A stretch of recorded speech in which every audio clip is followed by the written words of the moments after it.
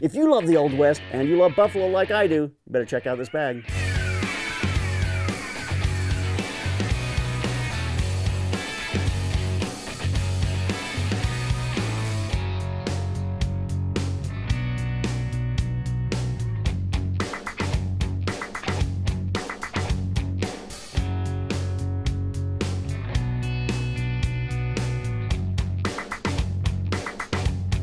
Hi, this is Jay P. Morgan. Today on the Slanted Lens, we're going to take a look at a product that really got me excited when I saw it at WPPI.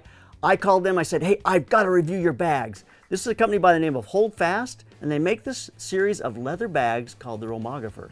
They're made out of genuine buffalo hide. They're just fabulous bags. They're vintage and they're cool and they're leather, and I just can't say enough about how cool they are.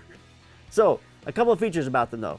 These straps are made so that you can pull them out on the bottom, loosen the strap, pull it out on the bottom, put your tripod on the bottom of the bag. So it's a great place to carry your tripod. It's got the padded sheepskin for your shoulder. Maybe a little thicker would have been nice, but it's a great padded thing for your shoulder.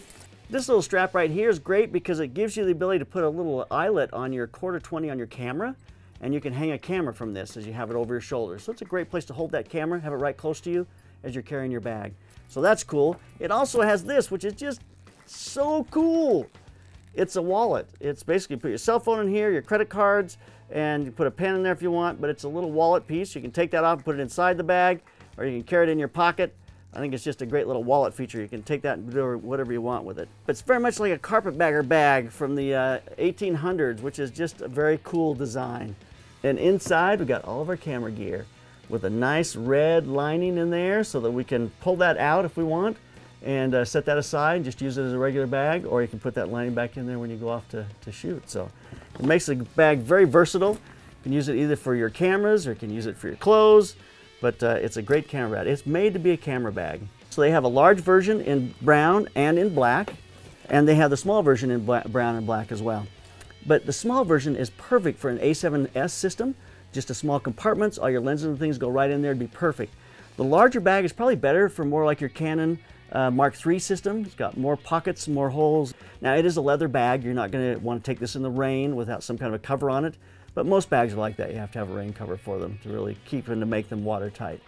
Do I have any negative comments about this bag? Not really, because in, it's a perspective bag. You don't buy this bag because you want a roller to roll your stuff around on. You don't buy this bag because you want you know, the latest, greatest uh, zipper. You buy this bag because it's cool and it's vintage and it'll carry your camera. So it's a mixture between old and new. If that appeals to you, this is absolutely a bag you should check out.